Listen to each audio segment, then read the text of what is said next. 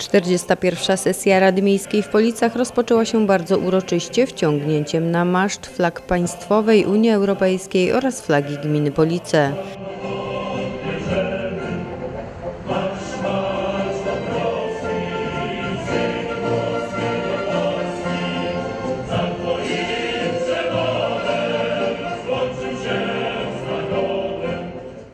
Ten sposób w gminie Police zainaugurowano obchody setnej rocznicy odzyskania niepodległości. Uroczystości, na które składa się cykl wydarzeń, potrwają aż do połowy listopada. Do tego czasu w wielu miejscach miasta i na terenie Sołectw będą powiewały flagi narodowe.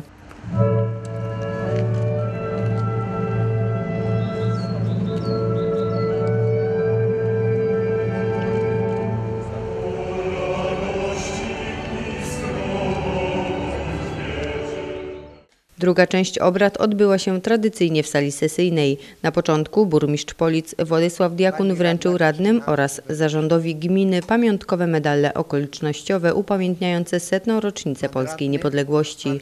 Medale otrzymali również członkowie zarządu powiatu polickiego Beata Chmielewska, wicestarosta Mariusz Sarnecki oraz przewodniczący Rady Powiatu w Policach Cezary Arciszewski. Pan Cezary Arciszewski, przewodniczący Rady Powiatu w Policach. Radni głosowali nad dziesięcioma uchwałami. Dwie pierwsze dotyczyły zmian w budżecie i w wieloletniej prognozie finansowej. Trzecia udzielenia pomocy finansowej powiatowi polickiemu w kwocie 150 tysięcy złotych na prowadzenie ośrodka wsparcia dziennego domu Senior Plus. Te 150 tysięcy to część opłat bieżących, bo proszę Państwa, że to jest program rządowy. Rząd polski dopłaca 300, z- około 300 zł do każdego uczestnika miesięcznie. I trzecią częścią, poza dopłatami samorządów gminnych, jest opłata indywidualna od uczestników tego programu. Podjęto także uchwały w sprawie realizacji programu opieki kierowanej do osób uzależnionych od alkoholu, współuzależnionych i dorosłych dzieci alkoholików, a także w sprawie zmian gminnego programu rozwiązywania problemów alkoholowych i programu przeciwdziałania narkomanii. Podjęto uchwałę w sprawie podziału gminy na stałe obwody głosowania i zmieniono zasady sprawowania pogrzebu przez gminę Police, rozszerzając formę pochówku o kremację. Podczas kwietniowej sesji radni na prośbę mieszkańców nadali nazwę Pogodna ulicy w Tanowie, łączącej się z ulicą Letnią. Ostatnią uchwałą było przystąpienie do sporządzenia planu zagospodarowania przestrzennego pod nazwą Gmina Północ.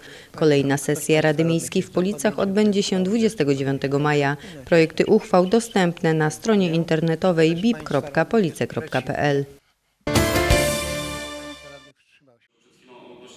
23 kwietnia w Miejskim Ośrodku Kultury w Policach odbyła się zachodniopomorska konferencja administratorów danych. Tematem konferencji były kompetencje i kwalifikacje osób funkcyjnych w związku z rozporządzeniem Parlamentu Europejskiego i Rady w sprawie ochrony osób fizycznych. Na tą okoliczność gmina Police zorganizowała dzisiaj konferencję, na którą zaprosiła wszystkich samorządowców i województwa zachodniopomorskiego. Jest to bardzo ważna konferencja, która podaje szczegóły, jak również wszystkie dane dotyczące tego rozporządzenia. To jest bardzo ważne rozporządzenie. Jesteśmy dumni, żeśmy mogli to zorganizować dzisiaj.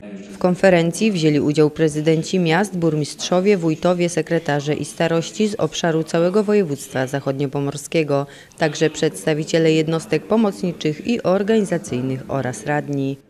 Z perspektywy nadchodzących zmian dotyczących ochrony danych osobowych konferencja okazała się bardzo ważnym przedsięwzięciem. Poruszono wiele istotnych tematów, jak przetwarzać zgromadzone dane, jak je zabezpieczać i chronić w świetle zmian RODO. Będą to zmiany istotne zarówno dla obywateli, y, ich uprawnień, jak i dla instytucji.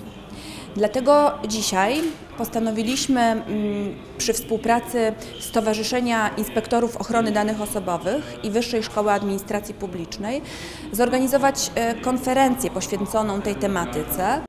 25 maja 2018 roku system ochrony danych osobowych w firmach i instytucjach musi być dostosowany do wymogów RODO. Naruszenie przepisów może grozić wysokimi karami finansowymi. Policki Uniwersytet Trzeciego Wieku po raz drugi zorganizował turniej par brydża sportowego, w tym roku o Puchar Burmistrza Polic. Życzę miłej atmosfery, prawdziwej sportowej, fair play i drugi turniej par brydża sportowego Puchar Burmistrza Polic uważam za otwarty. Do udziału w turnieju zgłosiło się 18 par z uniwersytetów trzeciego wieku ze Szczecina, Stargardu, Pyrzyc, Myśliborza i Polic oraz z Fundacji Promocja Zdrowia Szczecin-Dąbie. Brycz to towarzyska gra w karty. W szranki stają przeciwko sobie po dwie pary graczy. Po rozdaniu kart następuje licytacja, czyli zobowiązanie się do osiągnięcia określonego wyniku. Żeby zwyciężyć, nie wystarczy znać zasady gry, trzeba też umieć myśleć. Czytałem taką wypowiedź uczonych amerykańskich, którzy doświadczenia robili w tym temacie i mówią, że Scrabble są bardzo myśl, myślącą grą, ale bridge bije na, na wszy- wszystkie umysłowe gry. Polickim turnieju najlepsi okazali się gracze ze Stargardu. Zdobyli pierwsze miejsce drużynowo oraz drugie i trzecie w kategorii par. Drugie miejsce drużynowo oraz pierwsze w parach zdobyła Fundacja Promocji Zdrowia. Na trzecim miejscu drużynowo uplasowały się Pyrzyce. Trofeum gospodarzy to czwarte miejsce drużynowo, ale brycz to nie tylko wyniki. To także źródło nowych kontaktów. Uniwersytety trzeciego wieku od lat organizują u siebie turnieje i zapraszają przyjaciół z innych miast. W Policach też zaczyna rodzić się taka tradycja. Zorganizowaliśmy w zeszłym roku pierwszy turniej taki, ale patronat objął y, pan starosta.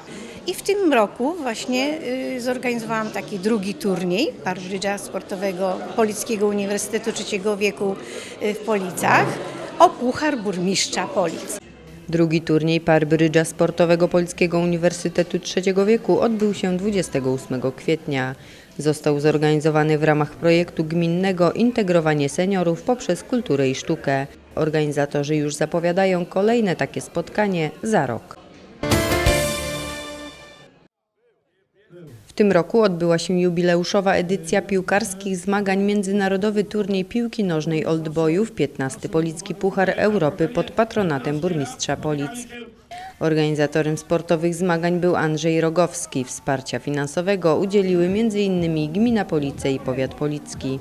Po zakończeniu turnieju oczywiście spotykamy się w sali szkoleniowej, wymieniamy się poglądami, e, obejrzymy zdjęcia, jak cały turniej przebiegał. Turniej związany jest z tym, że wstąpiliśmy w 2004 roku do Unii Europejskiej i od tego momentu czcimy, że tak powiem, e, e, to wstąpienie po raz 15 spotykamy się dzisiaj tutaj.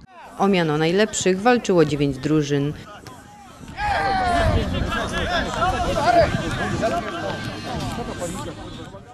Jubileuszową edycję wygrała drużyna United Poznań, która zwyciężyła w ośmiu meczach. Ciężko jest, no, drużyny tutaj stawiają dobry opór, na razie się udaje, ale to wiadomo, to, to, to przyjdzie moment taki pewnie kryzysowy, oby jak najpóźniej. Miejsce drugie zajęli piłkarze Stali Stoczni, a miejsce trzecie zawodnicy Georeksu. Wręczono także nagrody indywidualne. Królem strzelców został Dariusz Cielecki, najlepszym zawodnikiem Maciej Jędrzewski, a najlepszym bramkarzem Hein Uwe z Pasewalku. Od 1 do 3 maja w Trzebieży trwało ósme spotkanie pojazdów militarnych połączone z Festiwalem Kuchni Polowych. Impreza odbyła się na terenie pola namiotowego Gminnego Centrum Edukacji i Rekreacji. Po uroczystym otwarciu tradycyjnie odbyła się parada pojazdów ulicami Trzebieży.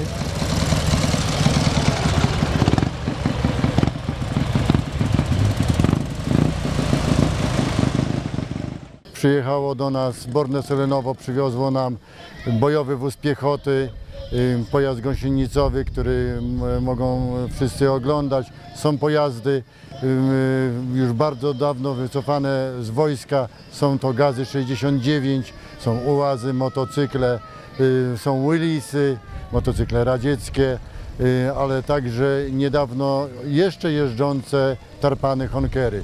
Główną naszą myślą przewodnią jest nigdy więcej wojny. Nie propagujemy żadnych systemów totalitarnych, ani faszyzmu, ani komu- komunizmu. Po prostu wszystko tutaj, co się odbywa, jest to rekonstrukcja munduru, także sprzętu militarnego.